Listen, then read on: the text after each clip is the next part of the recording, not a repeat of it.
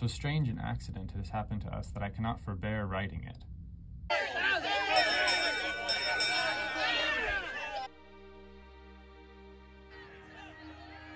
When my guest was a little recovered, I had great trouble to keep off the men who wished to ask him a thousand questions. Once, however, the lieutenant asked why he had come so far upon the ice in so strange a vehicle.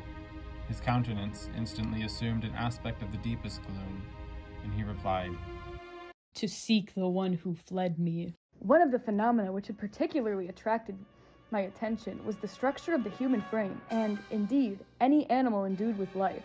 Whence I often asked myself, did the principle of life proceed?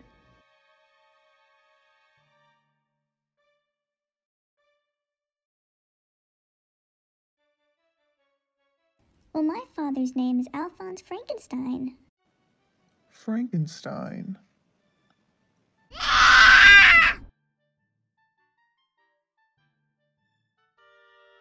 You must create a female for me with whom I can live in the interchange of those symphonies necessary for my being.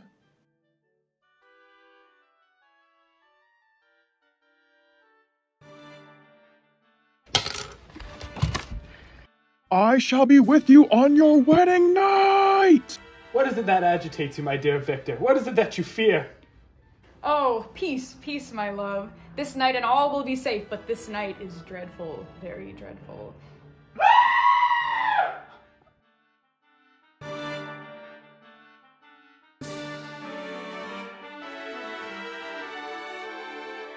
Many times I considered Satan as the fitter emblem of my condition, for often, like him, when I review the bliss of my protectors, the bitter gall of envy rose within me.